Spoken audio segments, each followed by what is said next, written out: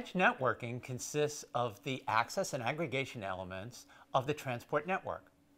In our context, we are referring to the mobile edge network and transport over a fiber optic plant. The mobile edge network is from the cell site to the core. The mobile edge mainly consists of a distributed RAN or DRAN and also consists of a DRAN blended with centralized RAN or CRAN. In a 5G CRAN topology, the electronics or distribution and central units are separated from the radio at the cell site and centralized at a remote location within the latency limits of the RAN. This transport segment is the front haul. If the distribution and central units are also separated, this transport segment is the mid-haul. The DRAN is where all RAN elements are co-located at the cell site, the radio, distribution, and central units. The transport segment from the cell site to the core is the backhaul. Edge networking takes place in the backhaul and midhaul segments, and in addition to the RAN elements, there are also a compute and storage devices referred to as the Mobile Edge Compute MEC or Multi-Access Edge Computing.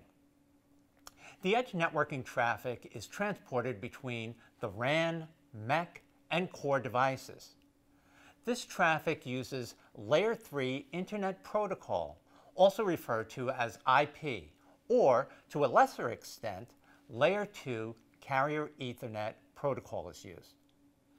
Groups of these cell sites are combined at aggregation sites for traffic consolidation and fiber relief to the core.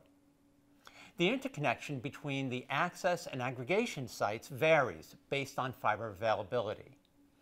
The edge networking topology can be hub and spoke with dedicated 10 gigabit Ethernet spokes at each cell site or in the preferred ring topology. In a ring topology, all the cell site capacities are cumulative on the fiber ring and statistically multiplexed, yielding ring rates at 100 gigabits Ethernet, ultimately scaling to 400 gigabit Ethernet.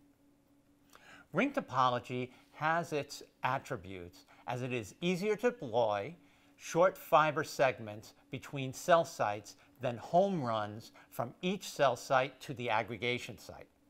Also, ring topology offers fiber path resiliency for higher service availability. In summary, edge networking has two critical points, access at the cell site and aggregation at cell sites in that general region.